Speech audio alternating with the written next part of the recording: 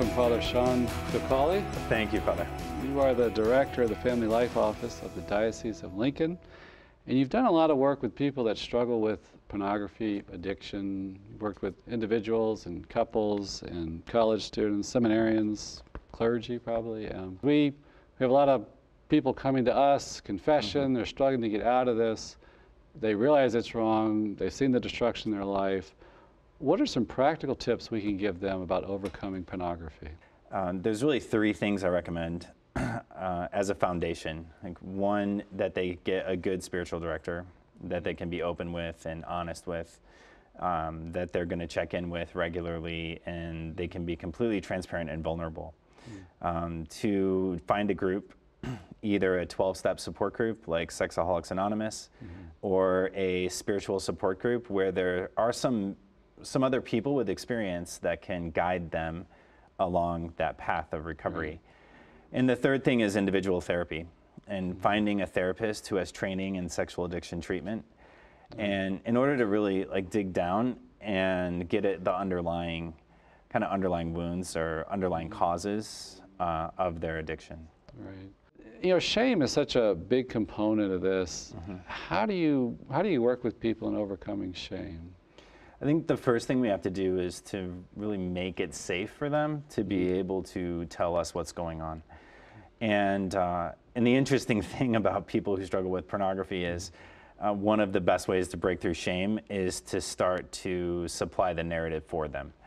Um, and what I mean by that is kind of calling back to Genesis 3, right? Mm-hmm. Adam and his wife eat the fruit. They're hiding from God. The Lord goes to look for them. I was afraid because I was naked, so I hid myself. Mm-hmm. You know, they don't say, I ate the fruit that you told me not to eat. They kind right. of point to the effects to avoid the cause. Yeah. Yeah. And the Lord supplies the narrative for them.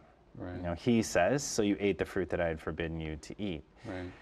And so asking curious questions as a confessor or as a spiritual director actually can help to reduce shame.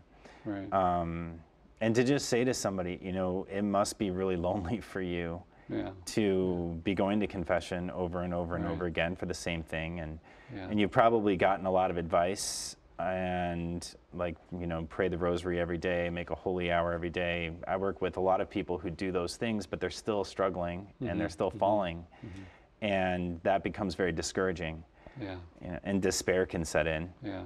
in the midst of that and so being able to receive the information from them mm-hmm. and communicate them to them effectively that we're able to receive the information from them right. um, I find the parent education that I've started doing in our own diocese has helped to make that a safer conversation for many people.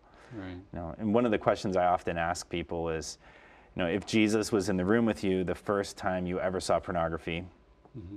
what would he say?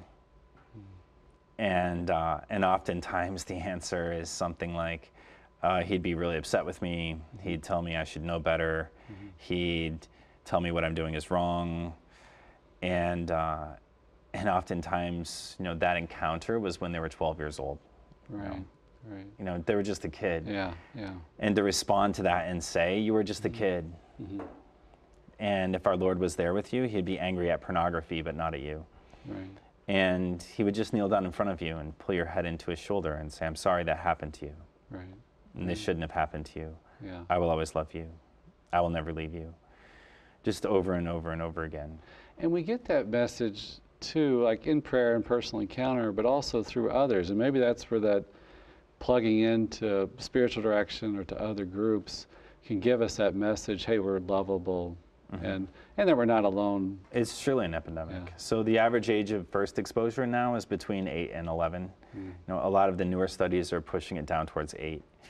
Mm. Um, by the time kids are leaving our high schools, 90% of boys and something like 60% of girls have been exposed to hardcore pornography. Yeah.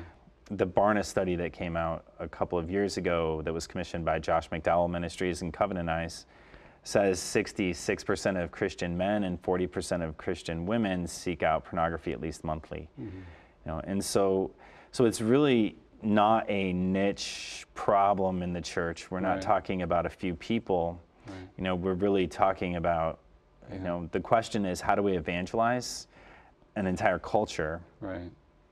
and uh, and preach the gospel into that hypersexualized culture. Yeah, yeah. You know, in a way that calls people to conversion, to completely change their lives, to really entrust their lives to our Lord. Yeah. What are some of the practical tips you tell parents that they should be doing with their kids? Uh, the first thing is to make sure that they're filtering their internet at home. Um, it's amazing the number of parents who don't filter their internet at home. I gave talks to a bunch of junior high kids at one of our schools, and I asked them, How many of you have your internet filtered at home? And it was about 10%. Um, and so putting those protections in place.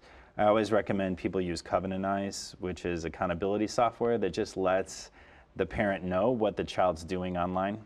Yeah. And parents should talk to their children about what they're doing online, Yeah. you know, whether it's good or bad, you know, just to be able to have a discussion about. So I saw you were Googling tractors a lot last week and, you know, tell me about that because that's you know, true you're in interested in what it. about that? okay, so it might be something else in another area.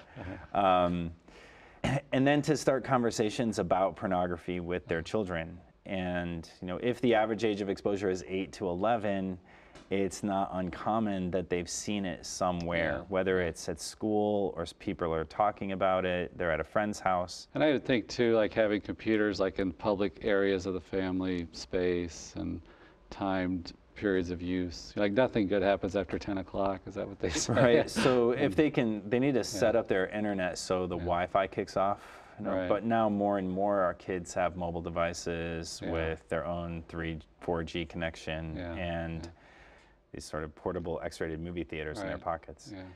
And the computer in the public area of the house um, is a good step, Mm-hmm. you know, as long as all the other stuff is going on.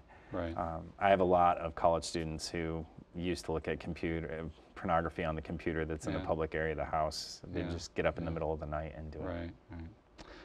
Well, we're going to take a quick break. When we'll be back, we'll talk about some of uh, more spiritual things we can do to, to fight pornography. More with Father Sean Kilcawley after the break.